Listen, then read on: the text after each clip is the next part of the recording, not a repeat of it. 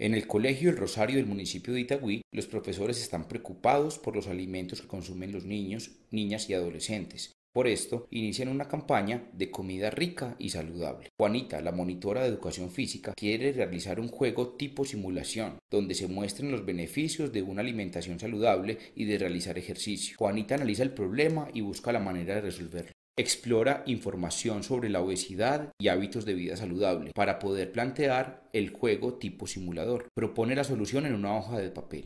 Después construye el simulador utilizando Scratch. ¿En qué consiste la simulación que propone Juanita?